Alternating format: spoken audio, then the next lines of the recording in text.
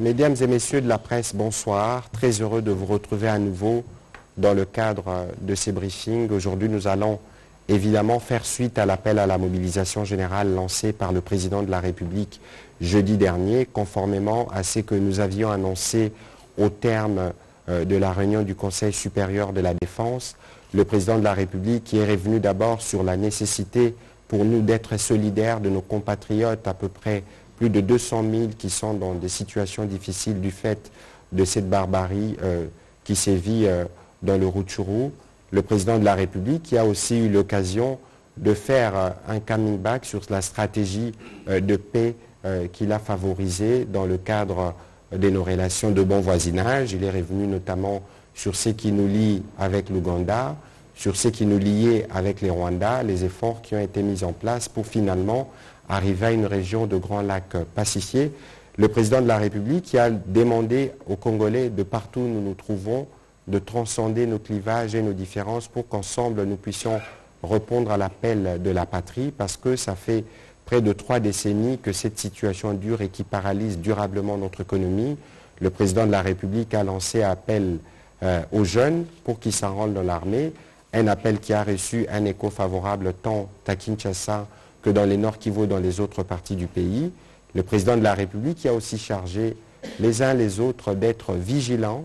Euh, par vigilance, euh, il entendait dire, nous y reviendrons ici, que nous devons tous être dans un rôle actif pour la protection euh, du territoire national. C'est que nous avons des plus précieux, la mère patrie. Mais d'autres points sur lesquels il est revenu, nous aurons l'occasion au cours de ces briefings de revenir sur ces différents aspects. Ce soir, nous avons euh, le privilège de recevoir le général Ekenge, le nouveau porte-parole de l'armée. Vous le connaissez, il était basé au Nord Kivu, il portait la parole à ce niveau-là.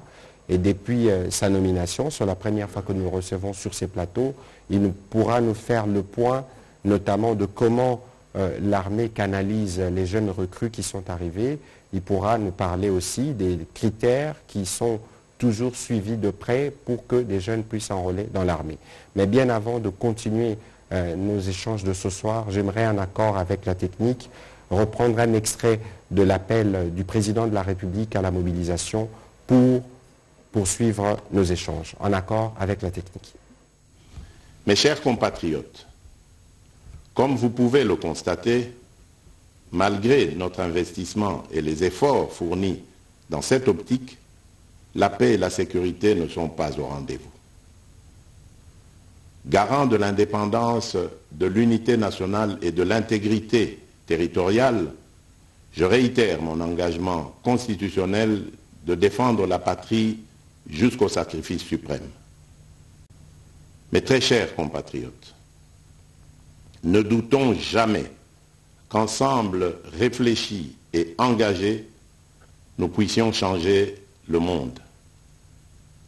À vous, nos vaillants soldats, vous avez pris l'engagement de servir sous le drapeau, je vous invite ici au sens élevé du patriotisme en ce temps particulièrement exceptionnel de notre histoire, de défendre notre pays, de protéger l'intégrité de son territoire et d'assurer la sécurité des Congolaises et des Congolais contre toute agression ou attaque d'où qu'elle vienne.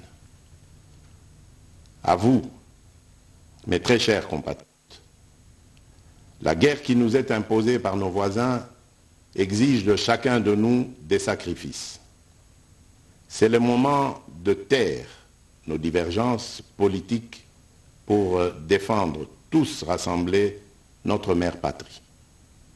Notre histoire et notre marche commune ont sans cesse démontré que loin de s'effondrer, notre nation et son peuple ont toujours relevé ce genre de défi et nous en sommes toujours sortis victorieux. Restons tous unis et solidaires derrière nos forces de défense et de sécurité. Voilà, euh, vous venez de suivre donc un extrait de l'allocution du président de la République. Nous y reviendrons encore dans l'autre partie de cette émission. Le président de la République a demandé donc à nous tous de rester unis euh, derrière nos forces armées qui s'affairent sur le terrain à faire restaurer l'intégrité de notre territoire. Euh, mon général Ekenge, je vous salue et vous remercie de vous associer à cet exercice euh, de rédévabilité. Vous en avez l'habitude dans le Nord Kivu, mais cette fois-ci, vous êtes à Kinshasa. Et j'aimerais donc vous passer la parole pour euh, que vous puissiez nous dresser le point de ce qui a pu déjà être fait au niveau de l'armée après cet appel du président de la République. Nous savons qu'il y a des jeunes qui ont répondu massivement à Kinshasa et à Goma. Est-ce que vous pouvez nous dire euh, ce qui s'est fait avant que nous puissions un peu plus tard répondre aux préoccupations de professionnels des médias pour que l'on comprenne de manière claire ce qui s'est fait? Vous avez la parole. Merci Excellence. Euh, en réponse à la mobilisation générale décrétée par le président de la République, chef de l'État, notre commandant suprême, je dis notre commandant suprême parce qu'il est président de la République pour nous tous, chef de l'État pour nous tous, mais commandant suprême uniquement pour les forces armées, pas pour vous. C'est tout à fait normal. C'est la Constitution qui, l'a voulu ainsi. Donc, euh, en réponse à cette mobilisation, les forces armées de la République démocratique du Congo procèdent déjà au recrutement massif des jeunes pour servir sous les drapeaux. Et au moment où je vous parle, ils sont plus de 2000. À Goma, rien qu'à Goma, ils sont plus de 2000. Et ici, il y en a qui sont déjà arrivés au centre d'instruction de Kitona depuis avant-hier, depuis avant-hier et hier. Et il y en a qui continuent à être orientés vers Kitona. Pourquoi s'enrôler dans l'armée pendant cette période? Eh bien, le chef de l'État vient de le dire, la nation est en danger. Et la nation en danger a besoin de ses dignes fils et filles pour la servir sous les drapeaux, défendre l'intégrité du territoire et puis euh, protéger les Congolaises et les Congolais ainsi que leurs biens. Et nous avons ce devoir-là en tant que citoyens. Comment, surtout, où se fait cet enrôlement Je sais que je regarde ici, il y, a, il y a des candidates et des candidats.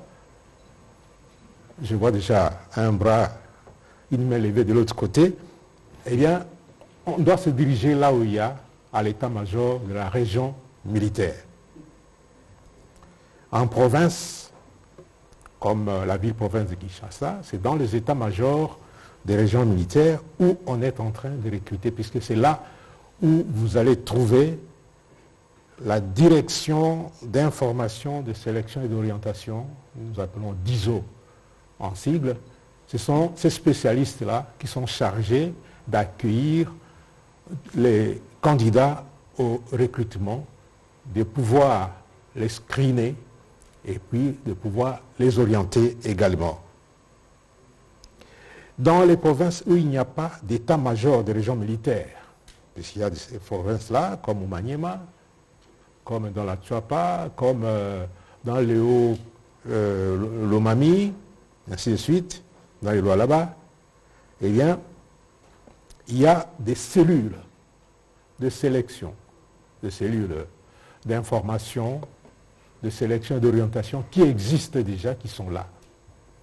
Et là où ces cellules et ces directions n'existent pas, l'armée va déployer des équipes de recrutement. Quelles sont les conditions exigées? Puisque on ne va pas recruter, même si le ministre est jeune, mais il a dépassé l'âge requis pour être recruté dans l'armée. D'abord, il faut être jeune, mais pas comme le ministre. Il est un jeune déjà qui a vieilli. Être jeune, fille ou garçon, être âgé de 18 à 25 ans, 18 ans révolus. Et puis, jusqu'à 25 ans, disposer d'une moralité et d'une bonne santé physique et mentale. La moralité, c'est important puisqu'il ne faut pas envoyer dans l'armée les tomates pourries, puisque toutes les conséquences vont se ressentir plus tard. Il faut des bons citoyens qui viennent servir sous les drapeaux. Et il faut une bonne santé physique.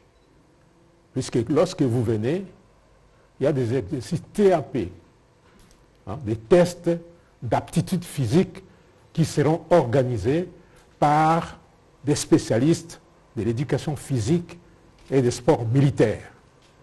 Il faut une bonne santé mentale, puisque vous trouverez des médecins spécialistes qui vont vous ausculter pour, comprendre, pour savoir si vous avez telle ou telle autre maladie, puisque si vous, vous venez malade dans l'armée, on ne va pas vous prendre. Il faut avoir fait au moins deux ans post-primaire. Hein, le cycle normal dit primaire, plus les deux ans, à, notre époque on appelait ça cycle d'orientation.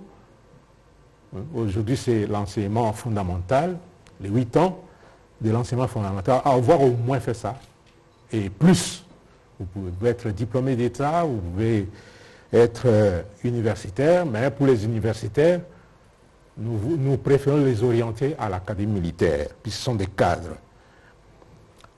aussi pour les officiers, et les officiers c'est à l'académie militaire, il faut avoir au moins un diplôme d'État et être gradué ou licencié, là il n'y a pas de problème, ou plus. Où aura lieu l'instruction? Eh bien, l'instruction ne se fait pas sous les bananeraies de je ne sais quel village ou sous les manguiers. Non, non. Nous avons nos centres d'instruction qui existent. Les FARDC organisent plusieurs centres d'instruction et d'entraînement à travers le pays pour la formation militaire de base. C'est tous les centres d'instruction. Il s'agit des centres d'instruction de Kitona, au Congo central, où on a, qui accueille déjà les, premiers euh, groupes de recrues il y a le centre d'entraînement d'instruction de, Kamina dans les Holomami. Il y a les centres d'instruction de Moura dans les Hauts-Katanga. Il y a les centres d'instruction de Lokosa à Kisangani, dans la Chopo. Il y a les centres d'instruction de Okandu dans le Maniema. Et il y a aussi les centres d'instruction, qui est également un centre d'entraînement, d'Irebu, dans la province de l'Équateur. Et ça, c'est spécifique à la force navale parce que l'instruction a été donnée à chaque force de recruter la force aérienne comme la force navale. Et la force aérienne va envoyer ces éléments à la base militaire de Kamina pour, comme euh, militaires qui doivent œuvrer en son sein. il existe aussi des centres d'entraînement pour la spécialisation. Après cette formation des bases, on va procéder, on va orienter des gens pour la spécialisation. Kotakoli, à l'Équateur, Kambaouma, dans la Chopo, et Luama, au Maniema, c'est pour les commandes, la formation commando, et Kamina pour les troupes aéroportées ainsi que euh, les prévôtés militaires et les spécialistes de la force aérienne. Après la formation des bases, quelques militaires peuvent lorsqu'on termine la formation des bases, on est déjà un militaire, et ils peuvent être formés dans des écoles des sous-officiers, au Kambaouma, à Moura, à Kitona, ou dans des écoles spécifiques, puisque l'armée, c'est un État dans un État. S'il y a un ministre de la communication, porte-parole du gouvernement, il y a aussi euh, un petit ministre de la communication, c'est de l'armée, que je suis. Et je suis un petit ministre dans son domaine au, niveau de, l'armée. Il en est de même s'il y a un ministre de la Santé, il y a aussi quelqu'un qui s'occupe de la santé au niveau de l'armée, qui s'occupe de la logistique, qui s'occupe des finances, de l'administration. Tout ça se trouve dans l'armée et il y a des écoles spécifiques pour former des spécialistes en la matière. Voilà. voilà euh, je, pense que nous aurons l'occasion de revenir dans le détail. Et nous travaillerons justement avec euh, les générales et Kenge pour voir comment on peut organiser une visite guidée, parce que le moment est venu pour les uns et les, uns les autres de mieux comprendre euh, la dynamique du fonctionnement dans l'armée. Nous autres, nous avions eu les privilèges de passer au Collège de hautes études des stratégies et des défenses. Nous avons une idée. Mais pour un pays avec 10 euh, plus de 10 000 kilomètres carrés, avec tout ce que nous avons comme richesse et potentialité, je pense qu'il faut que nous nous tournions nous tous vers l'armée parce que ce sera euh, le moyen de doter notre corps des anticorps à la mesure pour faire face à toutes ces guerres vous voyez qu'elle dure depuis 30 ans et on a essayé la diplomatie depuis l'arrivée du président de la République. Vous voyez que la diplomatie, les bons voisinages n'est pas toujours les messages que les autres captent. Il faut donc aller sur euh, la dissuasion qui est celle d'avoir une armée forte. Pourquoi pas une armée à 500 000, voire 1 million de Congolais? Nous sommes 100 millions d'habitants. Ce serait bien pour défendre et garantir la sécurité de notre territoire. On va commencer euh, la série euh, des questions avec Madame Anastasie Toudiéché.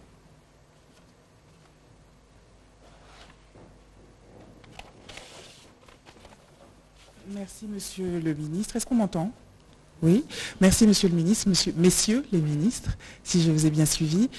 Euh, j'ai trois petites questions. La première, c'est, euh, vous avez parlé de solidarité, d'engagement. Quid de la promesse de campagne du président Tshisekedi d'éventuellement euh, installer ces quartiers généraux à Goma pour en finir avec la guerre? Mon général, je reviens sur les propos du président euh, Tshisekedi qui euh, incite la population à être solidaire de l'armée. Qu'est-ce qui est fait concrètement sur le terrain pour que le dialogue entre civils et militaires soit fluide et pour que cette euh, complicité soit effective Je reviens à vous, Monsieur le ministre de la Communication. Imaginons que dans un an, dans 12 mois, la situation soit aussi tendue, aussi volatile qu'elle est aujourd'hui. Les élections auront-elles lieu Seront-elles organisées? Alors, euh, merci euh, Madame Anastasie pour vos questions. La première, le président de la République a déjà tenu cette promesse. Parce qu'il vous souviendra qu'au mois de, juin 2021, le président de la République a passé les 30 juin à Goma. Il y a séjourné pendant plus de trois semaines. Souvenez-vous, c'est en ce moment-là que le président de la République s'est rendu à Bunagana, à la frontière avec l'Ouganda. Nous avons traversé du côté de Pondwe, en Ouganda, où le président de la République avait signé un accord euh, pour un projet d'infrastructure. Il lançait les travaux justement de la construction de la route. Nous sommes revenus avec le président Museveni. À Kassindi plutôt. Merci beaucoup, euh, mon général. Dans la même période, le président de la République est allé à Rubavu, donc au Rwanda, à Gisenyi. Et vous avez vu que le jour qui a suivi, le président Kagame est arrivé. Il est resté euh, dans la région pendant 3-4 semaines. Je pense que c'est la durée la plus longue que le président de la République a eue dans une province de la République. Ceci dit, au-delà de cette euh, promesse, mais les questions sécuritaires, c'est des questions qui sont suivies de manière étroite euh, par le président de la République. nous, au niveau du gouvernement, régulièrement nous en parlons et je pense qu'il n'y a pas de doute à avoir au sujet de la détermination du président de la République à remettre la sécurité dans cette partie du pays. Évidemment, la sécurité aujourd'hui est liée à des besoins existentiels parce qu'il faut regarder le problème dans sa globalité. Ça fait trois décennies que cette situation perdure. En même temps, il y a des besoins sociaux qui sont énormes parce que les jeunes qui s'orientent dans les groupes armés ne les sont pas toujours pour des bonnes raisons. Certains y vont parce qu'ils n'ont pas d'emploi, ils veulent vivre du métier des armes. C'est pour ça que parallèlement aux efforts que le président de la République a initiés, il y a le programme de PDDRCS qui s'est mis en place pour voir dans quelle mesure on retourne ces jeunes à la vie civile. La difficulté que nous avons, c'est que les solutions se construisent. Les solutions n'arrivent pas simplement lorsque vous dites que nous allons faire cela. Ça prend du temps du fait de la complexité des dynamiques. Regardez par exemple, nous étions à Nairobi, nous étions accordés avec tous les groupes armés sur un plan de discussion dans le cadre du volet politique euh, de ce qui prévoyait euh, le processus de Nairobi. Tous les groupes avaient souscrit à la démarche. Vous avez vu que le président Uhuru les a reçus à Nairobi. Le président de la République s'est adressé, je pense que dans un des nous sommes revenus sur ça, à ces différents membres de groupes armés. Ceux qui n'avaient pas pu faire les déplacements, un panel dirigé par le professeur Chibangu a circulé à Bounia, à Beni, dans toutes les parties où il y a des groupes armés. Et donc le dialogue politique avait commencé. Avec l'aventure du M23 appuyé par les Rwandais, c'est un coup qui a été porté parce qu'il y avait un besoin de se recentrer sur ces sujets. Mais quoi qu'il en soit, nous sommes déterminés, nous, à mettre fin à cette problématique de groupes armés. Je pense que la situation à laquelle nous faisons face maintenant constitue pour nous une opportunité pour définitivement en finir. Nous espérons que nous allons y arriver. Alors, euh, vous avez dit que si la situation de la tension perdure, est-ce qu'on pourra parler des élections? Écoutez, sur les élections, encore hier, nous en parlions en Conseil de ministres. Aujourd'hui, le gouvernement a déjà financé les processus pour à peu près 450 millions de dollars. C'est un engagement constitutionnel que nous avons pris, que nous nous sommes engagés à respecter. Mais lorsqu'il y a des circonstances comme celles euh, que nous vivons actuellement, évidemment, il y a des réflexions qu'il faut faire. Non pas dans le sens de ne pas organiser les élections, mais dans le sens de s'assurer que les Congolais, partout où ils sont, sont dans des conditions de paix et de stabilité qui permettent de leur garantir leur droit des votes. Et donc, moi, je ne voudrais pas être pessimiste euh, pour aller spéculer sur ce qui aura 12 mois.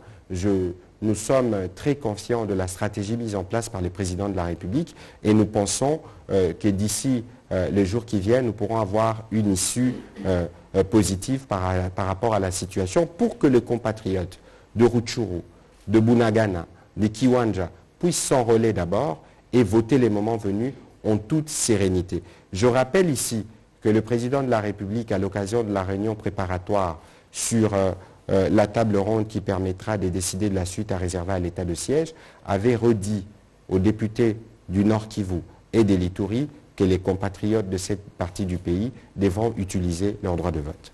Mon général, pour vos questions.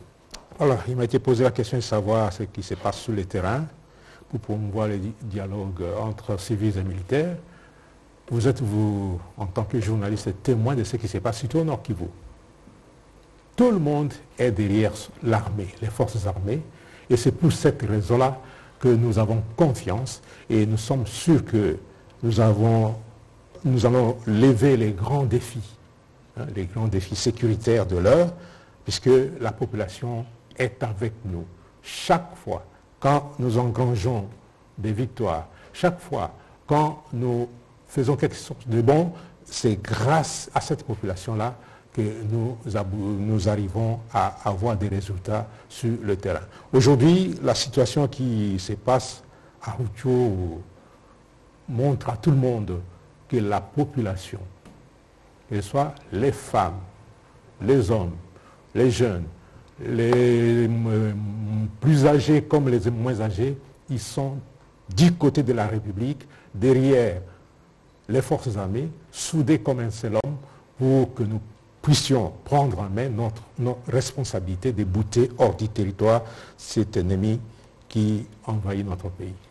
Je crois que dans l'ordre euh, de ce que les générales viennent de dire, la relation civilo-militaire, ce n'est pas seulement civilo-militaire, mais y compris avec la police, est une relation qui doit être euh, reconstruite. Parce que fort malheureusement, euh, il y a des épisodes malheureux que nous connaissons. Mais aujourd'hui, par exemple, le président de la République l'a déjà dit plusieurs fois en Conseil de ministres, que le travail qui s'est fait euh, au ministère des Infrastructures, par exemple, on recourt très souvent au génie militaire.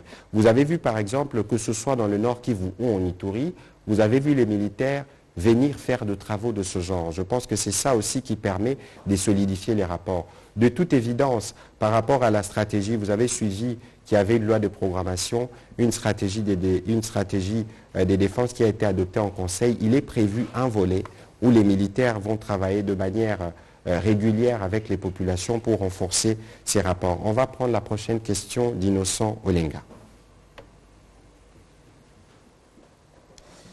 Merci beaucoup pour la parole, Monsieur le ministre.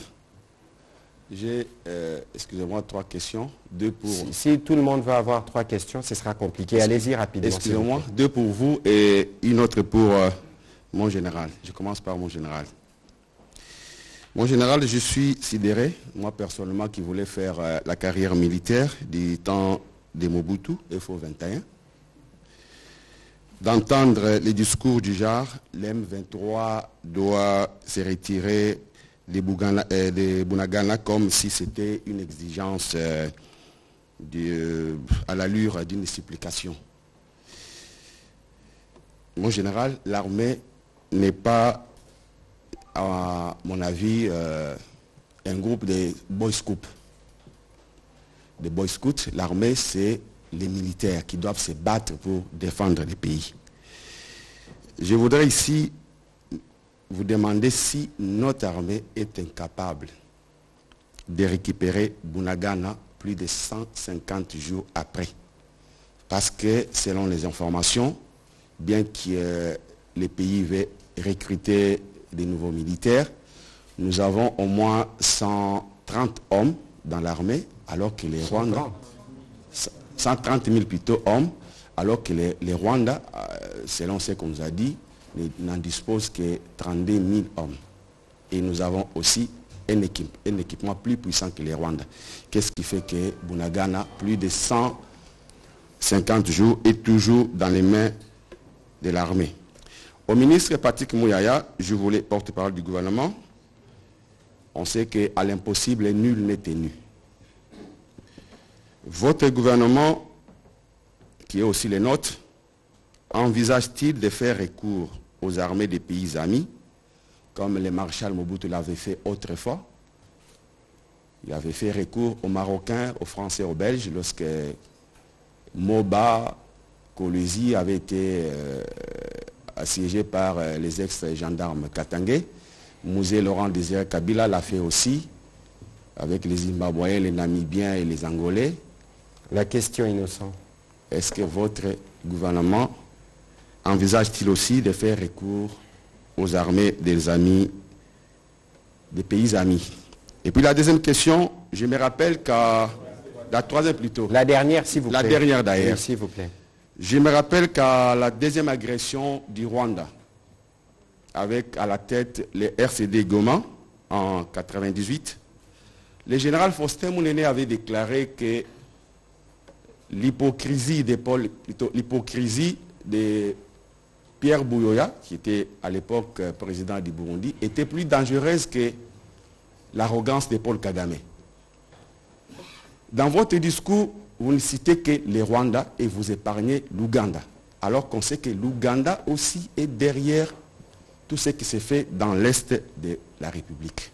Pourquoi vous ne les citez pas? Alors, je veux vous répondre euh, rapidement. Euh, sur la question de l'Ouganda, vous n'étiez pas au dernier briefing, j'y ai répondu.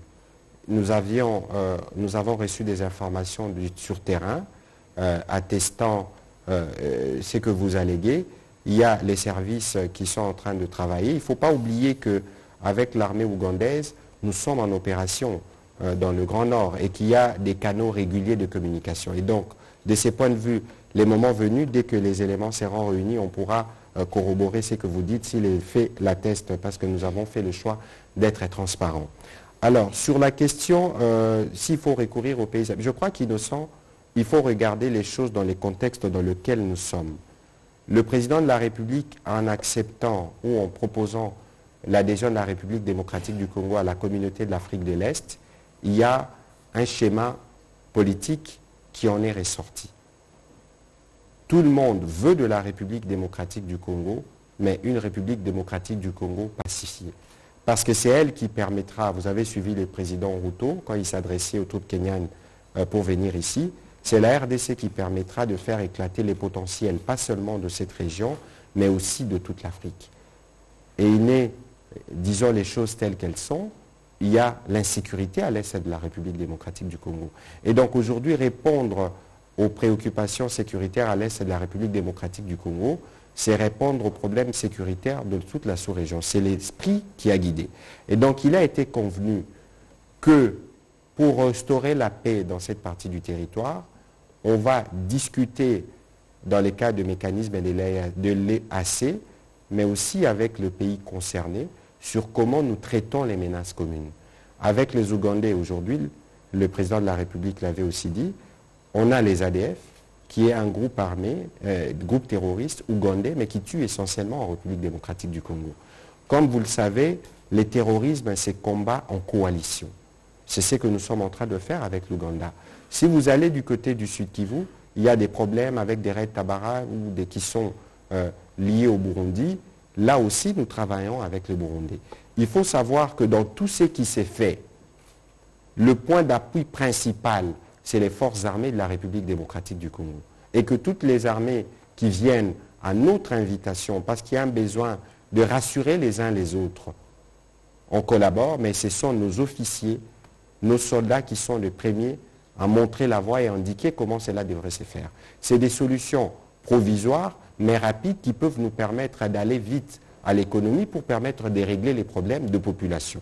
Je ne viderai pas la question du général, il y répondra, mais je dois juste rappeler, et le président de la République l'a aussi dit dans son adresse à la nation, que nous étions euh, à Luanda en juillet, nous étions à Nairobi, il avait été convenu de la cessation des hostilités et d'un cessez-le-feu. C'est le choix euh, que nous, nous avons fait parce que le président, encore une fois, vous a dit, plutôt que la guerre, il a fait le choix de la diplomatie. Il ne faut pas oublier, euh, cher innocent, que cette guerre, elle s'émène dans notre territoire. Et que, imaginez, par exemple, de mettre Rutshuru en feu où il y a une masse importante de population. Donc, les autres viennent en terreur et d'ailleurs, ils prennent le prétexte fallacieux de prétendre défendre des communautés, alors que les membres de communautés qui prétendent défendre font partie de cette communauté des déplacés. Nous, nous devons toujours tenir compte de la nécessité de protéger la vie. Et donc, le choix stratégique qui avait été fait de dire qu'on va respecter les lignes qui ont été données, c'est aussi parce qu'il faut sauver les vies des Congolais. Et donc, pour le reste, vous savez, la mission des militaires, elle est différente de vous, et de la mienne. Bon, encore que moi, je peux me considérer déjà comme militaire aussi. Le président de la République l'a rappelé, c'est jusqu'au sacrifice suprême. Vous n'avez aucune idée du prix que payent nos militaires et ils sont prêts à le payer pour protéger et assurer l'intégrité du territoire. Mon général. Merci beaucoup, Excellence. Euh, vous parlez des 150 jours où Bounagan est entre les mains de l'ennemi et vous oubliez que c'est presque tout le territoire de Rutshuru qui est maintenant occupé. Et si on a dégarni Rutshuru et Kiwanja, c'est parce qu'on ne pouvait pas se permettre de mener les combats là où il y a la population. Puisque notre mission première, c'est de protéger la population. Nous n'avons pas de supplications à faire à qui que ce soit. La guerre son excellence, le ministre a été au Tchèze, il comprend ce que je veux dire, semaine suivant l'approche globale. Les politiques font, amènent ce qu'ils peuvent amener, la diplomatie agit, et nous les militaires, nous avons les armes sur le terrain. Effectivement, vous le savez, que notre pays, qu'on le dise ou qu'on ne le dise pas, est sous embargo et pendant ces temps-là, on, fournit les armes à notre ennemi. Et nous, il faut, je vous rappelle encore, je vous ramène à l'histoire du M23, de ces terroristes avec les Rwandais, en 2012. Ils avaient même pris Goma. Et plus d'une année après, on n'en avait plus parlé. On les a chassés en novembre 2013. L'armée se réorganise. Elle a fait un repli tactique pour ne pas causer des morts inutiles dans des grandes agglomérations comme Rutshuru et Kiwanja. Et aujourd'hui, nous sommes là et on va tout mettre en œuvre pour que nous puissions récupérer tout l'espace conquis aujourd'hui par euh, le Rwanda, puisque les M23 n'ont même pas d'effectifs. Ils n'ont même pas de moyens. Mais tout ce qui est sont les militaires rwandais et leurs équipements. Ils ont même abattu un avion de, la MONUSCO, vous savez. Et vous, avez suivi la déclaration de Mme Bitou Keïta, vous avez suivi la déclaration du secrétaire général des Nations Unies, qu'ils sont hyper armés. Et ce n'est pas le M23, c'est plutôt le Rwanda qui a mené son arsenal sur le terrain, mais rassurez-vous, et je vous rassure, que aucun centimètre de notre pays ne sera laissé sous les bottes de l'ennemi. Voilà, on va prendre la question d'Israël Moutala. Merci, Monsieur le ministre, pour la parole. J'aurais... Euh, N'ayez pas trois questions. Non, deux, petites questions. Euh, la question, c'est est-ce que vous allez aller aux négociations avec euh, le M23 aujourd'hui? Parce que c'est une euh, résolution de la communauté de l'Afrique de l'Est qui demande à ce que euh, qu'on aille aux négociations le 16 novembre. Qui parle d'un dialogue inclusif. Oui, un On dialogue ne inclusif. cite pas spécifiquement le M23. Oui, mais ce dialogue, on demande à ce que le M23 soit intégré à la table des négociations. Mais est-ce que vous serez ferme sur vos, positions antérieures, selon lesquelles vous ne pouvez pas négocier avec le M23 s'il ne se retire pas de Kiwanja et maintenant aujourd'hui de Rutshuru, avant c'était de Bunagana. Est-ce que vous irez aux négociations avec le M23 en gardant les positions actuelles? Est-ce que vous serez ferme ou pas, ou vous irez à l'état actuel Euh, L'autre question, euh, c'est par rapport à la mobilisation générale qu'a décrété le président de la République. Est-ce que les conditions politiques sont-elles réunies pour une mobilisation générale? Parce que nous avons entendu certains cadres de l'opposition qui disent que les conditions ne sont pas réunies, il est fâché avec X, il est fâché avec Y, il y a des prisonniers d'opinion, il faut décrisper politiquement d'abord la situation avant d'envisager de décréter une mobilisation générale. Voilà mes deux petites questions et aussi la petite... euh, juste par rapport à, à- la déclaration selon laquelle le comportement du Rwanda est, semblable à celui de la Russie.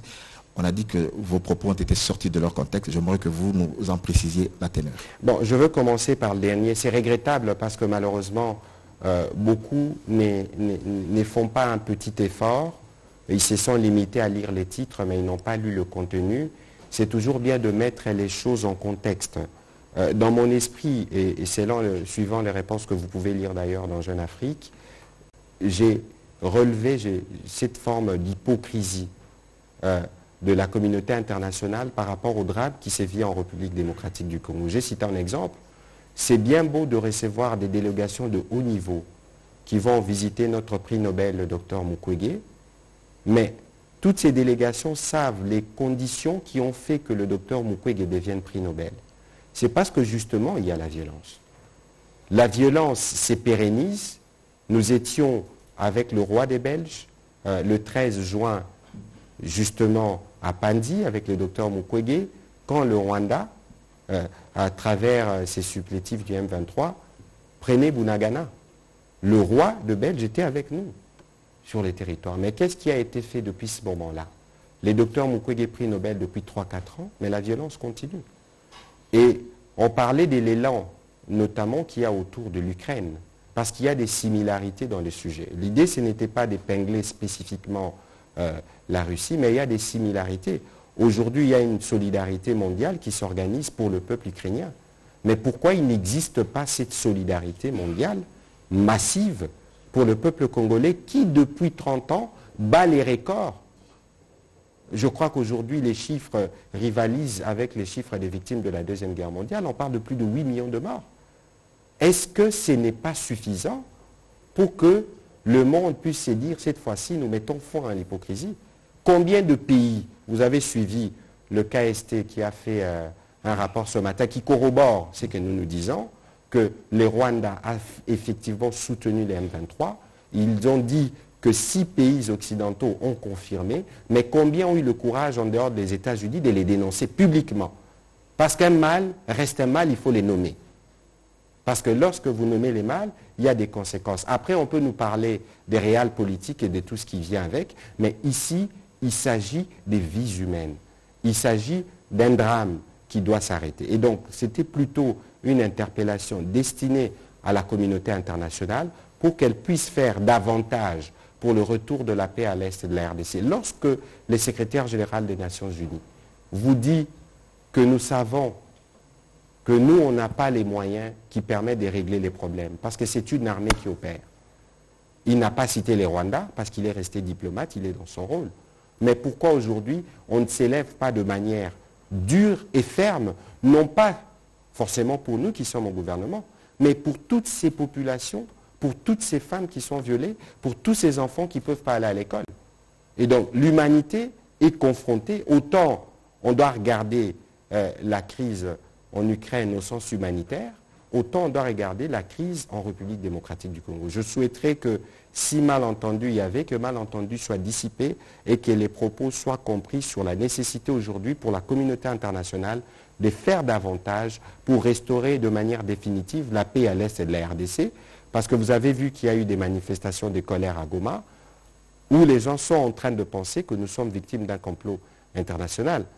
Je ne voudrais pas aller jusque dans ces considérations, mais l'idée pour nous, c'est que nous voulons la paix chez nous, nous voulons que nos enfants aillent à l'école, nous voulons que nos femmes puissent être en paix et nous voulons développer notre pays.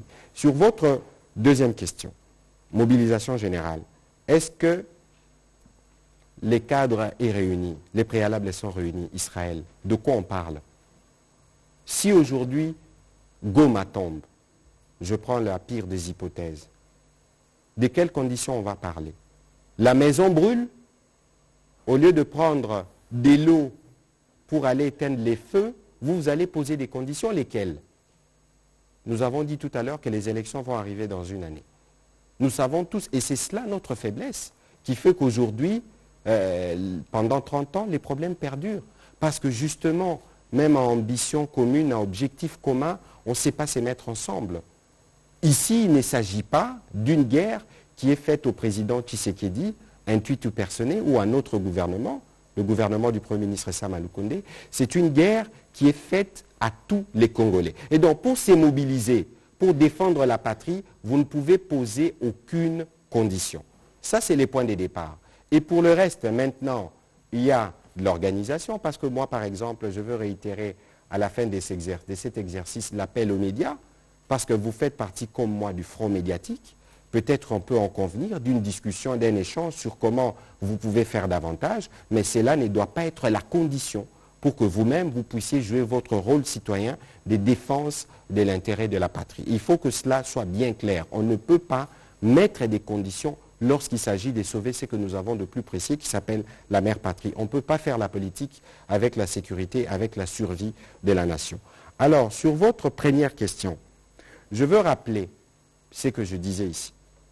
Lorsque le président de la République est parti au conclave de Nairobi, je pense que c'était au mois de juin, il a été convenu qu'après l'adhésion de la République démocratique du Congo, il y aura un processus politique d'une part les recours d'ailleurs à la force d'imposition de la paix étaient une alternative qui aurait pu pas se mettre en place si les discussions politiques avaient abouti. C'est justement le Rwanda, parce que sa stratégie c'est de maintenir l'Est de la RDC en zone d'instabilité, a vu qu'il y avait une fenêtre qui pouvait de manière définitive amorcer les processus pour un retour de la paix dans cette partie du pays, a recommencé la guerre avec les M23. Pour nous, le président de la République l'a dit, il faut qu'on retrouve d'ailleurs les images qu'on les diffuse, il a demandé aux enfants, aux brebis égarés, de regagner la patrie. Et on discute des conditions des redditions, parce que vous savez que dans le cadre du programme PDDRCS, il n'est pas prévu des réintégrations dans l'armée. Parce que justement, l'un des défis que nous avons aujourd'hui dans l'armée, c'est parce qu'on a fait des brassages et mixages. Aujourd'hui, on parle de traîtrise, mais c'est justement parce que de manière permanente, on a voulu infiltrer l'armée par des gens qui, lorsque le mot d'ordre est donné, perturbent tout le plan. Et donc l'idée aujourd'hui, et cela doit être bien clair, les M23 doivent se retirer des positions occupées, se retirer jusque, je pense qu'il y a une délimitation qui avait été faite, avant d'être réintégrés dans les processus comme tous les groupes armés. Parce que si justement ils ont été exclus du processus, c'est parce qu'ils ont recouru aux armes. Et donc tous les chefs d'État de la région avaient convenu que plus personne ne touche les armes, sinon il y a la force. Et donc c'est ce qui va arriver. Et d'ailleurs, je vous informe qu'au moment où nous parlons, euh, le vice-premier Lutundu, qui aurait pu être de nôtres, encore en Angola, parce qu'il y a des discussions autour du président Lorenzo, je pense avec euh, la partie rwandaise, pour voir dans quelle mesure cela doit se faire, parce que c'est les premiers préalables à toute forme de discussion. Nous pensons que c'est une fenêtre qui nous permettra de manière définitive de régler ces problèmes. Parce que finalement, qu'est-ce que le Rwanda veut? Les prétextes mensongers de dire qu'au Congo, on s'en prend aux rwandophones. Mais comment vous pouvez, vous, devenir sans mandat les porte-parole d'une communauté Et même quand vous les devenez, vous êtes à la base de la situation de tous ces déplacements. On ne va pas aller regarder euh, euh, les, nos populations dans cette zone. Mais il y a des populations congolaises rwandophones qui font les prix de l'aventure du M23. On ne va pas nous reparler des FDLR, parce que les FDLR, on les combat depuis autant d'années. Qui est le chef des FDLR connus aujourd'hui Est-ce que les FDLR ont déjà posé un problème au Rwanda? Donc ça veut dire qu'aujourd'hui, nous, on a fait le choix de la paix, parce que nous pensons que nos communautés méritent de vivre en paix. Mais lorsqu'on nous impose la guerre, nous avons l'obligation de nous défendre. Et de ces points de vue, tous les membres de la communauté, tous les Congolais ont l'obligation de souscrire au processus. Voilà, on va retourner à la technique pour écouter euh, euh, une autre partie du discours du président de la République et on va revenir pour les dernières 30 minutes et on va répondre aux questions. Merci. Technique. La situation actuelle, loin de nous affecter, n'est qu'une épreuve de plus que nous allons surmonter pour raffermir davantage notre unité. Au-delà de tout clivage politique, idéologique, religieux et tribal, la défense de la mère patrie est le seul objectif qui doit nous unir en ce moment. Le pays nous appelle. La nation a besoin de l'engagement de toutes ses filles et de tous ses fils. Je vous appelle à ne pas céder aux propos xénophobes et autres discours de haine ou de stigmatisation des communautés rwandophones dont la servisseur se sert pour faire euh, du chantage et de la manipulation. Tout acte allant dans ce sens sera sévèrement puni. En réponse à la forte demande de la jeunesse, j'invite celle-ci à s'organiser en groupe de vigilance en vue d'appuyer et d'accompagner et de soutenir nos forces armées, nos forces de défense dans l'accomplissement de leur noble mission. C'est ici l'occasion de mettre en garde tous les traîtres civils ou militaires et autres brebis galeuses qui servent les intérêts de l'ennemi. Ils seront exposés à la rigueur de la loi en ayant le juste châtiment que mérite ce genre de comportement. En outre, tout en renouvelant mon appel lancé à nos jeunes qui en ont la vocation de s'enrôler massivement dans nos forces armées. Je réitère l'instruction faite au chef d'état-major général d'accélérer à cet effet la mise en place de centres de recrutement à travers les 26 provinces que compte notre pays. Chers compatriotes, nous devons ensemble avoir conscience que nul autre que nous-mêmes ne viendra sauver notre nation et que cela exige de chacun de nous une mobilisation tous azimuts. Voilà, vous venez de suivre euh, cet extrait du président de la République qui conclut d'ailleurs très bien, nul autre que nous-mêmes ne viendra sauver notre nation. Le président de la République a parlé euh, notamment de la vigilance parce que j'ai reçu beaucoup de questions euh, des médias à ces propos. La vigilance à laquelle fait allusion le président de la République n'est nullement à confondre avec groupe d'autodéfense. Il a bien parlé des vigilances, si vous avez suivi les propos, à côté des forces armées. Parce qu'on parle de traîtres, on parle de manipulation. Nous sommes ici, nous savons tous que le Rwanda nous accuse d'un discours xénophobe imaginaire. Il n'est pas exclu que l'on crée une situation où on s'en prend euh, euh, aux ici en RDC pour après nous charger. Et donc, comme on aime dire euh, aux États-Unis, Madame chez vous devez le savoir, if you see something, say something. Donc si vous voyez quelque chose, dénoncez parce que dans la défense de la patrie, chacun de nous a un rôle à jouer. On va prendre la question de Mbelechi, puis ce sera Jean-Ri Koumandé. Merci, Monsieur le Ministre. J'ai échangé avec, au moins pendant deux heures avec des collègues du Rwanda. J'ai posé des questions aux collègues. J'ai dit, oh, qu'est-ce que votre président cherche? Ils me disent que non, vous gardez des FDLR et puis vous attaquez aux, Congolais rwandophones. J'ai dit, ok, s'il faut chercher les FDLR, vous avez eu à gérer l'état-major général de FRDC, euh, vous avez eu James Karebe qui a géré l'armée congolaise. Est-ce qu'il n'a pas eu le temps de chercher ces FDLR Parce que vous dites qu'ils ont même intégré l'armée. J'ai dit, ok, vous dites que nous nous attaquons euh, aux rwandophones, aux Congolais rwandophones, et ces gens, ces, rwandophones vivent mieux en Tanzanie, au Kenya et dans d'autres pays. J'ai dit, ok, c'est bon.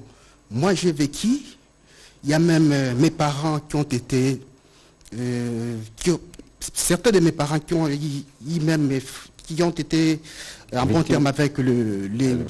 ces gens que vous défendez aujourd'hui. Alors, monsieur le ministre, vous avez appelé à la mobilisation euh, générale et ils craignent qu'au travers de cette mobilisation, vous attaquez euh, aussi à ces gens qu'ils veulent défendre à tout moment. Quelles sont les mesures qui ont été prises Quel message aujourd'hui euh, vous allez adresser à, la population du Nord Kivu qui accepte aujourd'hui de rejoindre euh, ces groupes de vigilance?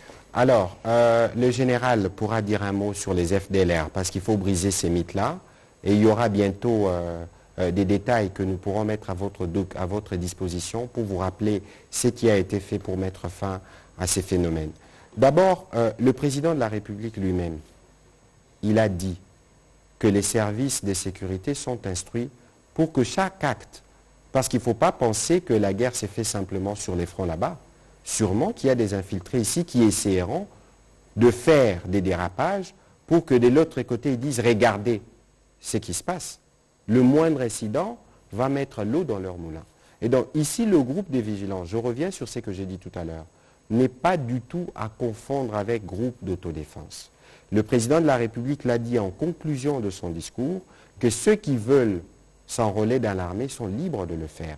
Et le général pourra peut-être vous expliquer, parce qu'il y a même un vetting qui s'est fait avec l'UNICEF sur les effectifs avant qu'ils ne puissent être recrutés et envoyés en formation l'UNICEF vient vérifier parce qu'il ne faut pas qu'on trouve, qu'on cherche des pouces sur nos têtes sans cheveux en disant qu'ils veulent enrôler des enfants. Nous avons le droit de défendre notre territoire avec ce que nous avons. Je crois que les amis de l'autre côté doivent nous laisser nous défendre suivant la stratégie qui est la nôtre. Et donc il faut que cela soit bien clair. Je rappelle qu'au terme du Conseil supérieur de la défense, dans les discours du président de la République qu'on a rappelés, il est strictement interdit les recours à des propos xénophobes, à la stigmatisation. Et que les services, les générales est ici présent, ils les vivent là-bas dans les Nord Kivu, sont instruits pour que tout acte de dérapage puisse être sanctionné. Ici, ce n'est pas simplement parce qu'il s'agit euh, de communautés rwandophones, c'est parce qu'il s'agit de la protection de tous les Congolais de manière générale et que la violence ne sera nullement admise, ni contre eux, ni contre vous. J'ai d'ailleurs, je ne connais même pas vos origines, et le président de la République, dans la ligne qui est la sienne et qui est la nôtre, c'est de regarder les Congolais dans notre diversité. C'est cela qui fait notre richesse. Euh, mon général, sur la question des FDLR, qu'est-ce que vous pouvez dire? D'abord, je veux commencer par l'attaque contre les communautés rwandophones. C'est un alibi. Un alibi, tout simplement. Il en est de même des problèmes d'FDLR. FDLR. Vous avez dit que James Carrey a été chef d'état-major général de notre armée. Il n'a rien fait là-dessus. Mais il y, a, pire que ça. En 1998, j'étais encore à Goma, j'étais major. Mais il y a eu une opération nommée Umo Jawetu. Les Rwandais sont venus au Congo. Ils sont allés rechercher l'FDLR. Ils n'en ont même pas trouvé 20 ils n'ont pas neutralisé 20 FDL. Ils ont fait un mois et ils sont rentrés. Je vous rappelle aussi, je voudrais vous informer d'une autre chose. L'état des sièges est proclamé par le président de la République le 3 mai de l'année passée, 2021. On commence les opérations. On a commencé par le Grand Nord contre les, terroristes ADF-MTM. Et puis, dans le secteur euh, opérationnel Soukola 2 Nord Kivu au sud, au Petit Nord, on a commencé par Massissi. Et après avoir nettoyé Massissi à presque 95, 90%, il fallait basculer. La deuxième phase des opérations, c'était dans les Niragongo et les Ruchur, où se trouve l'FDLR. Et lorsqu'on veut attaquer l'FDLR, le Rwanda fait sortir l'histoire du M23. Et pour que nous ne puissions pas attaquer l'FDLR. C'est pour dire quoi? Je vous informe que le Rwanda a construit des raffineries d'or et de, de coltan et qui ravitaille le Rwanda en or et en coltan. Ce sont les FDLR. Ces FDLR qui sont là, nous, on a rapatrié des milliers et des milliers de FDLR au Rwanda.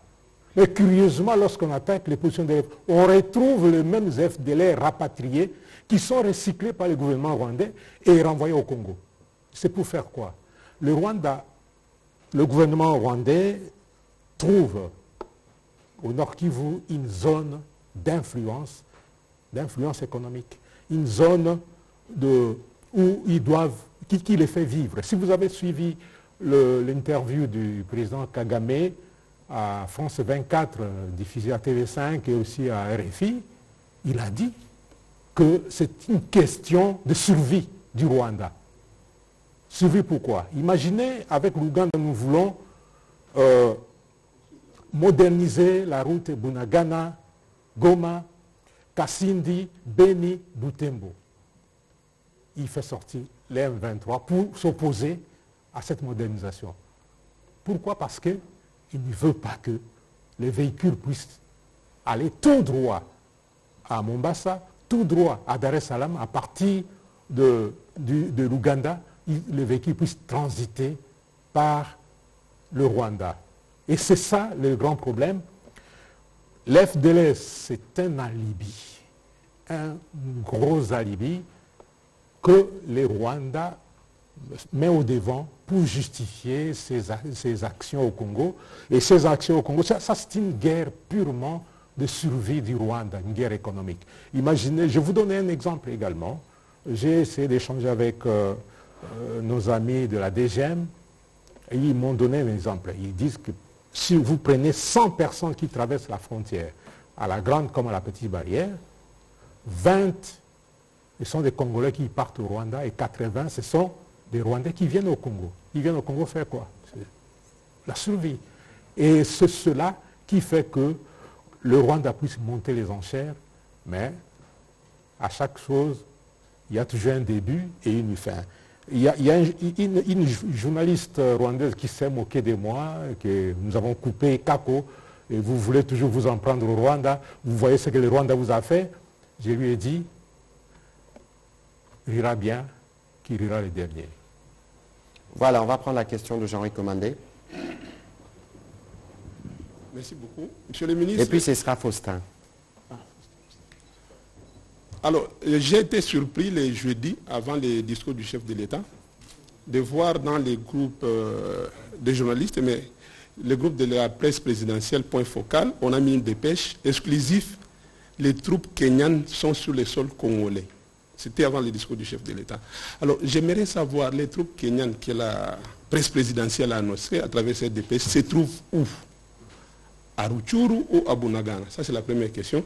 La deuxième question, est-ce que la force régionale, ça sera une force d'interposition ou ça sera une force qui vient réellement neutraliser les M23, les M23 et les autres groupes armés? Vous avez parlé de la survie du Rwanda. Est-ce que le Rwanda va laisser faire la force régionale neutraliser les M23 Et la dernière question, j'ai entendu, vous avez parlé des préalables ici pour euh, dialoguer avec les M23, je ne sais pas si c'est les M23 réellement, mais est-ce qu'un gouvernement peut dialoguer avec les terroristes? Alors, sur votre dernière question, il faut situer les événements dans le temps. Regardons-nous dans les yeux, parce que les groupes armés dont on parle n'existent pas après l'avènement du président de la République à la tête du pays. C'est des groupes armés qui existent depuis 15 ans, 20 ans, depuis bien longtemps. Ici, il y a une volonté d'y mettre un terme. Et dans ces groupes armés, il y a notamment les M23. Et lorsqu'on a commencé les processus euh, de Nairobi, il y avait dans les lots des groupes armés qui étaient tous déjà à la même enseigne concernés par la discussion, il y avait aussi les M23. Après, il y a eu la reprise des hostilités. C'est ce qui a en paralysé tout le processus. Parce que lorsqu'il y a crépitement des armes, pour nous, la concentration principale, c'est d'assurer la défense du territoire national. Et donc aujourd'hui, quel que soit, et vous avez vu justement si la situation sécuritaire, parce qu'on veut nous faire du chantage, je l'ai dit récemment dans mon dernier briefing ici, on veut nous faire la pression pour négocier avec les groupes terroristes, il est hors des questions. Mais ici, nous, nous allons, nous avons convenu d'un agenda avec les chefs d'État dans le cadre de la Eastern African Community où il y avait ces volets politiques dans lesquels nous travaillons et où il y avait ces volets militaires. La force n'est pas une force d'interposition, c'est une force qui vient pour restaurer la paix. Ça veut dire que les groupes armés qui seront réfractaires au processus subiront la force. C'est ce qui est convenu. Et le président de la République l'a déjà dit, que le Rwanda ne fera pas partie de cette force régionale. Et que si le Rwanda a un rôle à jouer, il jouera le rôle dans les territoires rwandais, dans les zones frontalières de leur côté. C'est ce qui est convenu. Votre autre question, euh, vous parlez de... Vous dites La présence des troupes kenyanes. Oui, mais d'abord, premièrement, vous êtes journaliste, vous aurez pu directement poser la question aux amis de la presse présidentielle et vous aurez mieux renseigné. Euh, parce que moi, moi, ici, ce que nous savons, c'est que vous avez suivi la cérémonie de prise d'armes organisée par le président William Ruto. Et donc, les restes, c'est une question imminente. Peut-être que les généraux ont des détails là-dessus, mais ça va se faire dans les prochains jours si ce n'est pas déjà fait. Le problème ici, c'est qu'il y a quelques jours, et c'est justement la dangerosité de se laisser gérer parfois par des informations qui circulent comme ça, on disait, ah, les Kenyans sont partis. Alors qu'on n'avait jamais vu arriver les troupes kenyanes. Mais on a dit qu'ils étaient partis. C'est justement cette machine des manipulations qui recycle des informations fausses qui sont parfois portées par des journalistes crédibles, qui fait que la situation est plus complexe. C'est pour ça que régulièrement, nous organisons cet exercice pour que nous puissions nous voir et être sûrs que vous avez la bonne information à la bonne source. Et donc, dès que les troupes kenyanes seront là, ce sera public parce qu'ils viendront sûrement 500, euh, 600, je n'ai pas lu le CONOPS, je ne saurais pas vous donner les détails, mais vous les verrez et peut-être qu'on organisera euh, des voyages de presse dans la partie pour que vous puissiez voir. Donc voilà, mon général, un complément euh, En principe, les, groupes, les troupes kenyanes, les contingents de l'armée kenyane devaient arriver, soit hier, soit aujourd'hui ou demain. Je n'ai pas de précision, mais ce que je dois vous dire, c'est que ce sera dans le même format euh, que ce qui est fait dans les territoires de Béni avec les troupes ougandaises contre les ADF MTM. toutes ces troupes-là ne viennent pas travailler de manière isolée. Elles viennent en appui au FRDC. Et c'est ce qui se fait aujourd'hui dans le territoire d'Ovira, avec les troupes, les contingents burundais ils sont en appui au FRDC. Ils ne viennent pas travailler de manière isolée et ils ont un mandat offensif pour essayer de travailler avec les FRDC pour neutraliser tous les renégats qui sont de l'autre côté. Voilà ce que je peux vous dire à, ce stade. On va prendre la question de Faustin Koudiesala et puis on va prendre Élisée Odia. Fabrice, vous aurez la question de Lingala à la fin. Alain Lino Merci, Monsieur le ministre. Juste une question. Euh, monsieur le ministre, en 2020, quand les chefs de l'État devaient reconsidérer la coalition FCC-CACH, il a lancé une consultation nationale. Et aujourd'hui qu'il a décrété un appel à la mobilisation générale, est-ce qu'on peut s'attendre à ceux qui s'engagent dans le même processus, c'est-à-dire rencontrer les forces vives de la nation, aussi bien politiques euh, que sociales Bon, je veux revenir sur ce que j'ai dit tout à l'heure. La mobilisation générale, les circonstances de terrain l'imposent. Pour vous mobiliser et défendre votre patrie, vous n'avez pas besoin d'aller en réunion avec le président de la République. D'abord, ça ne peut pas être une condition. Pour le reste, le président de la République a sa boussole, il a son plan. Donc, les moments venus, s'il prendra des initiatives, vous serez associés, vous serez au courant, nous en parlerons. Mais pour le moment, chaque Congolais, où qu'il se trouve, doit se mobiliser. Alain Lino Marcelli, avancez aussi, on va prendre les trois dernières. Stéphie Mukendi, avancez aussi.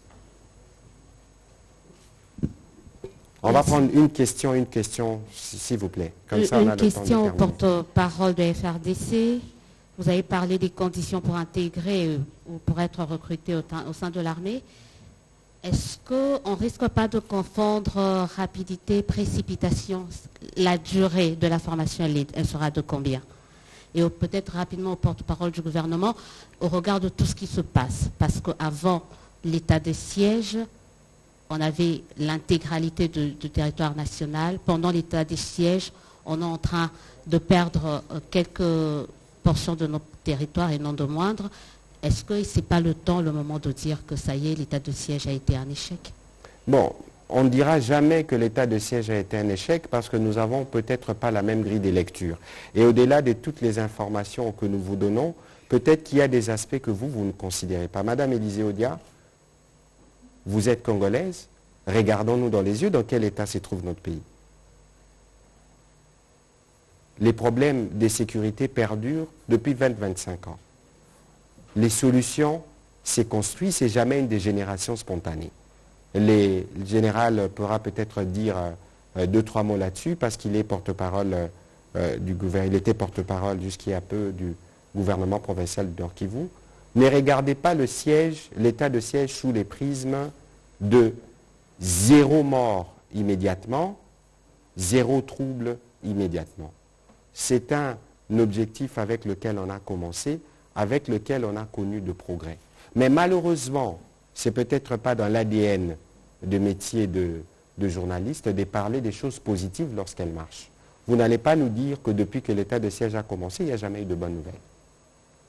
Il y en a, mais qui malheureusement ne font pas toujours l'objet de l'intérêt des médias ou des ONG parce que ce n'est pas dans leur ADN.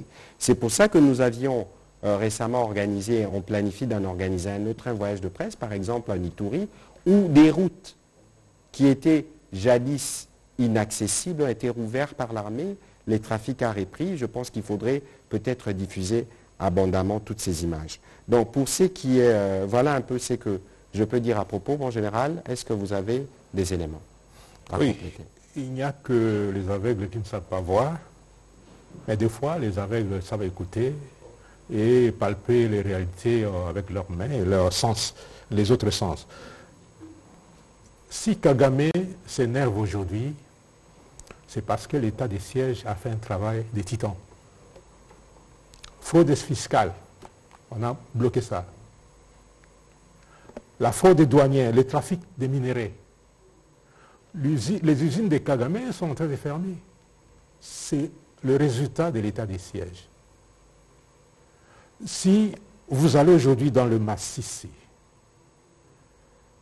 malheureusement, l'insécurité commence à rentrer puisqu'on a dit désengager les unités qui étaient dans le Massissi pour les, orienter vers Rutshuru pour faire face à la menace euh, rwandaise.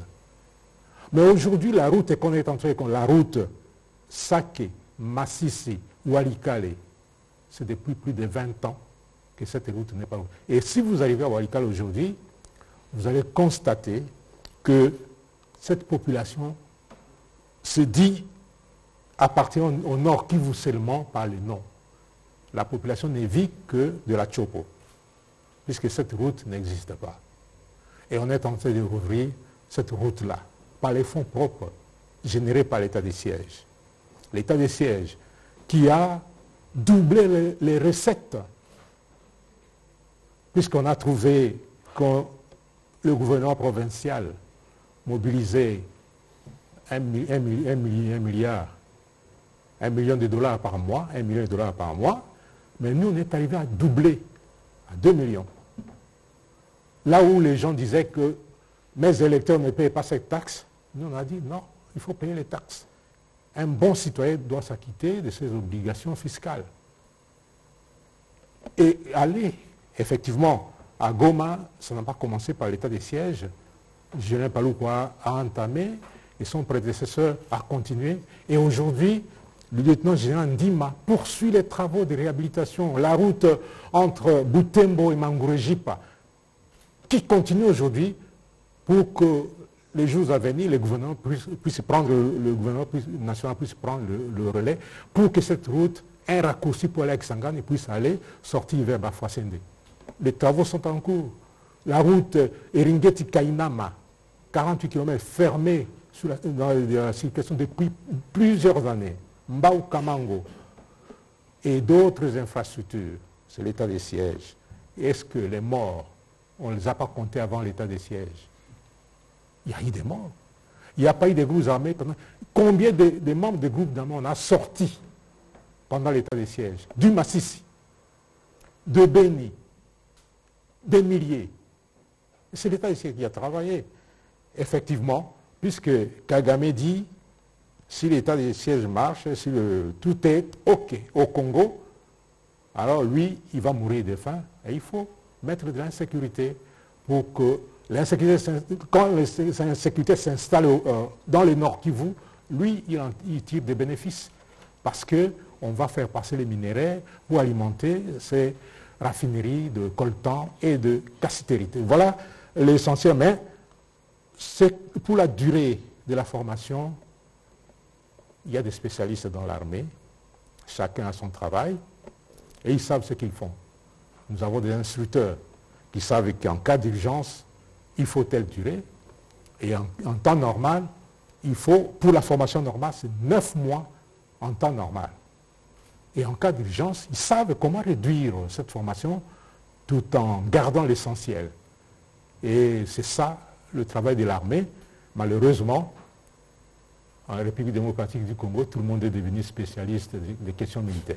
Ah, on parle de nonsologue, un terme que j'ai appris il y a quelques jours. Merci Madame Odia. On va prendre la question de Alain. S'il vous plaît, une question pour nous permettre de tout y répondre. Merci beaucoup. J'en avais mais je vais garder une question pour le porte-parole des FRDC.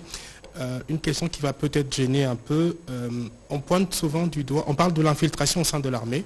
Et on pointe souvent du doigt les opérations dans le passé, mixage, brassage. Est-ce qu'aujourd'hui, euh, euh général-major Sylvain Ekenge, est-ce qu'il y a des, militaires au sein de, FRDC à nationalité douteuse?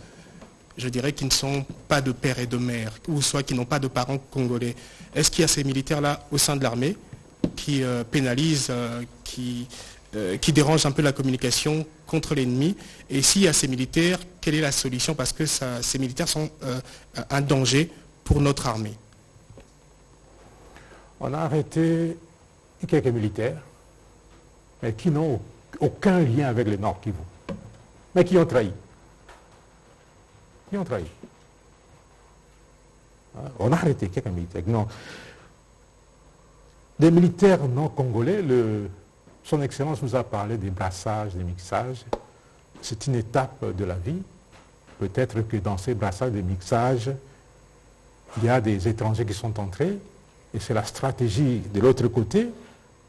Mais vous devez savoir que dans toutes les armées du monde, on peut trouver ça. Mais nous, nous, sommes, nous avons des spécialistes au sein de l'armée pour déceler tous ceux qui ne sont pas avec nous. Et il y en a qui sont... Nous, on n'a pas l'habitude de claironner lorsque nous menons nos actions. Nous avons des actions que nous menons en silence. C'est ça, l'armée n'a pas l'habitude de trop parler, mais elle agit à l'intérieur. Mais rassurez-vous, tout rwandophone n'est pas rwandais. Vous devez savoir ça, avoir ça en tête. Là où il y a la frontière, les populations sont à cheval entre les pays. Sinon, vous allez dire que tous les, Nandais sont des Ougandais. Hein? Sinon, vous allez dire que tous les, les gens qui sont au, nord Ubangi sont des Centrafricains. Alors que chez nous, ce sont les Mbandi, là-bas, ce sont les Sango, ils parlent la même langue, c'est la même culture. Il y a même des, des, familles qui sont à cheval. Donc euh, ça, c'est un faux problème que les gens posent. Voilà, on va prendre la question de Stéphie Mukindi. Monsieur le porte-parole de l'armée, besoin de nouvelles du front, besoin de chiffres. Depuis le début de combat contre le M23, combien d'éléments M23 sont neutralisés par les FRDC et combien d'éléments FRDC ont perdu la vie? Ça, c'est les journalistes congolais. Il aime les chiffres. Hein? Il aime les chiffres. Nous, on ne parle pas en termes de chiffres. Nous, on parle en, termes d'action. Non. Si moi je meurs au front, ce sera un événement à cause de mon grade. Mais c'était un non-événement. Puisque je suis volontaire, j'ai accepté de servir la patrie sous les drapeaux, j'ai signé un contrat avec la mort. Donc ce n'est pas, un événement, la mort du militaire. Ce n'est pas un événement. C'est vous qui voulez en faire un événement. C'est son job. Vous, vous avez les stylos, vous avez votre carnet, vous avez votre journal, votre caméra, votre micro. Nous, on a l'arme. Mais sachez que la guerre n'est pas un jeu d'enfant, c'est un jeu de la mort. Et la mort, elle est au quotidien. Elle est au quotidien. Et si moi je meurs, il n'y a pas meilleur mort pour moi que de mourir par balle d'un ennemi. C'est ce qui fera de moi un héros. Puisque c'est mon rôle de défendre, de vous défendre, de défendre la patrie, c'est-à-dire mourir pour la patrie, c'est un honneur, un grand honneur pour moi. Et c'est pour ça que nous tous, nous devons vous soutenir. Et combien d'ennemis sont neutralisés par les FARDC ben, ils, meurent pour leur cause. ils meurent pour leur cause. On va prendre euh, l'avant-dernière question. Tite Lyongui, rapidement. Merci, Monsieur le Ministre. C'est une petite question que vous pouvez partager avec euh, le général. Monsieur le Ministre, suivant le récit pratiquement des Nations Unies, je suis en 1919, où le rwandophone, pour ne pas dire les M23, tirent leur subsistance en disant qu'ils sont en train de défendre une communauté qui est menacée. Et on appelle ça la légitime défense. En République démocratique du Congo, comme également un pays attaqué, effectivement, notre population civile est également menacée. Je ne sais pas. Est-ce qu'on ne peut pas faire comme le Palestinien, par exemple, où on sait que l'État qui attaque la République démocratique du Congo sous le label de M23, c'est les Rwandais, engagés directement une guerre. Je vais partager un peu avec vous aujourd'hui. Est-ce que cette mobilisation que le chef de l'État est en train d'initier, de demander, est-ce que ne constitue pas ce qu'on appelle euh, une guerre déclarée alors que nous sommes en train de nous battre pour recruter? Aidez-nous un peu parce qu'on veut bon, Alors, on ne saura pas remonter les faits historiques ni aller dans des comparaisons, parce que parfois ça risque de ne pas être bien compris. Vous avez vu l'exemple euh, que j'ai pris tout à l'heure. Ici, il faut savoir que nous avons les devoirs de défendre la patrie. Quoi qu'il en soit, quoi qu'il en coûte, il y a ceux qui ont fait le choix de mourir pour cela, et c'est ce que nous faisons. Alors, on va utiliser dans la défense de la patrie tout ce qui est à notre disposition. Peut-être qu'aujourd'hui, on comprend mieux ce que Laurent Désiré Kabila disait à l'époque, que la guerre sera longue et populaire.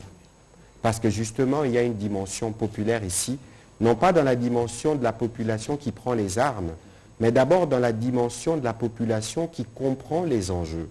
Et c'est pour ça qu'il est important que vous et nous, nous ayons ces cadres de discussions de manière permanente et franche pour que vous, vous puissiez parler à la population qui comprenne les enjeux du pays de manière générale et voir comment y répondre.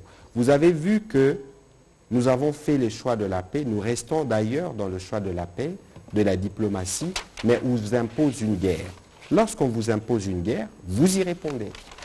On y répond en défendant notre territoire. Nous, on n'est pas belliqueux, on n'a pas des plans, on dit on va attaquer tel, attaquer tel, mais on va s'assurer que notre intégrité territoriale est respectée. Et c'est pourquoi tous les Congolais, hein, dans toute notre diversité, au-delà de nos clivages, nous devons nous mobiliser pour soutenir ceux qui peuvent faire la guerre. Parce que la guerre avec les armes est réservée aux militaires. La guerre ne se fait pas avec des machettes. La guerre s'est faite avec l'information.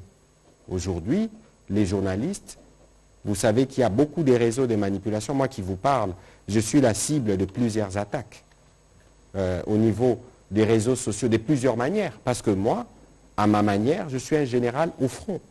Je suis désolé, on va me dire que les journalistes sont indépendants, mais avant d'être journaliste, vous êtes d'abord des citoyens.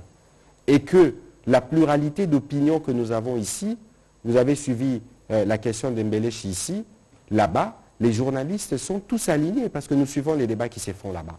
Alors, nous, nous sommes avancés parce que nous sommes un pays démocratique où la liberté d'opinion est garantie, la liberté d'expression, mais lorsque les circonstances sont graves, comme les circonstances actuelles, il est important que vous aussi, vous jouez votre devoir patriotique. Mon général, un petit mot avant de prendre la question à Ningal est terminé. Oui, vous l'avez si bien dit, Excellence, nous défendons notre territoire et on n'a pas de choix. Nous ne sommes pas chez les voisins. Nous sommes chez nous, on est agressé, nous avons le devoir, l'obligation de nous défendre. Et chacun des citoyens congolais doit se comporter en conséquence. Dernièrement, j'ai réuni les responsables des médias et quelques journalistes, les gens de, de l'UNPC à Goma, pour les rappeler ce devoir citoyen-là. Par exemple, il y a des informations que Tchangarabo, il y a un site, Tchangarabo, qui diffuse des informations. Il y a Goma 24, que vous connaissez, qui dit, ça ce sont des, des sites du gouvernement rwandais. Et ils diffusent des informations et nos journalistes récupèrent ça, les répercutent. Ça, c'est prêter les flancs à l'ennemi. Donc la mobilisation vous concerne aussi, vous, en tant que journaliste. Avec votre micro, avec votre caméra, avec votre, stylo, vous devez participer à cette guerre. J'étais sidéré quand les autres m'ont dit, moi, oui, vous nous demandez de contribuer à Goma. On m'a dit, mais il faudrait alléger les fiscs avant que nous puissions contribuer. Je leur ai dit, où on est citoyen congolais, un bon citoyen, ou on ne l'est pas. Si vous êtes un bon citoyen, il n'y a pas de conditionnalité pour défendre l'intégrité de notre territoire. Voilà, la dernière question, Fabrice en Ingala, et on va terminer. matondi mingi mwana mboka patrik muyaya motuna ezali moko na yo moko mpe na moyima mpinga bai congo démocratique balingi koyeba uh, uh, uh, monkoloto nini oyo bosali bongo na mampinga ya bikolo biafrika oyo bazali koya kopesa maboko simbisi na mbulamatari ya congo démocratique mingi mpenza bayima mpinga e mpona nini recrutement ya bajeune oyo bozali kobenga lelo baya kokɔta na armée bokosala yango retard. Pourquoi pas kopesa kotia programme après kosilisa bongo kelasi ya humanité mbala moko? Bayi mboka bazwa tanto inane ya koyekola mosala ya mampinga mpona kodefendre mboka na bango. Mpona nini? Na ntango ya retard oyo deja bazali koatake république démocratique du congo. Bon mokolo toyelakisi nini? Signature. Accord non je crois que awa il faut tolimbolela bato malamu. Mokonzi ya mboka na kotala rôle oyo kongo eza nango na katikati ya afrike adesidaki ke ndenge toza membre ya sadek ndenge toza membre ya ceac tozala mpe membre ya organisation sous régionale oyo esangisaka bapays ya est. Yango tokota kasi lere tokoti na organisation wana. Bato nyonso balobi na est ya rdc mwa bakokoso ezali. Bakokoso wana ezali neti soki otali na uganda. Eza bagroupe terroriste ugandais oyo babomaka na congo. Soki otali na frontière ya burundi eza baburundais ba moko basalaka banungunungu toyokanaki tosala oyo tobengi force régionale basoda basalaki plan moko babengaka yango na lopoto conops nayebi te na lingala. Concept opérationnel, concept opérationnel voilà. Na lingala nayebi te soki balimbolaka yango ndenge nini. Me kasi na plan wana bayokanaki ndenge nini déploiement ekosala. Elakisi ke mapinga oyo ya biso bakozala liboso. Bawana bakoya bakozala pembeni.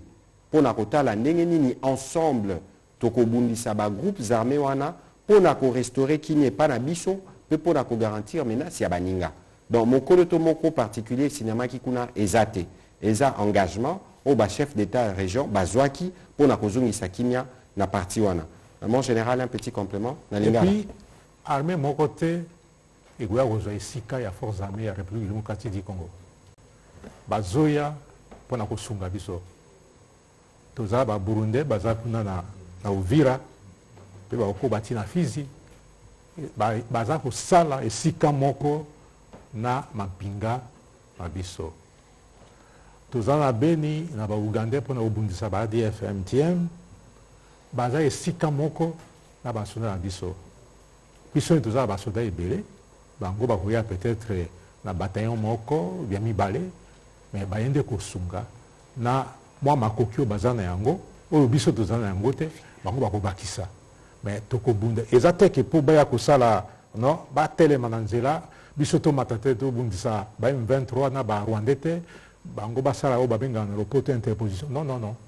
C'est une mission eza mission oyo bapesi bango ke tobunda bitumba. Biso nyonso esika moko bakoya kosunga forces armées ya république démocratique du congo.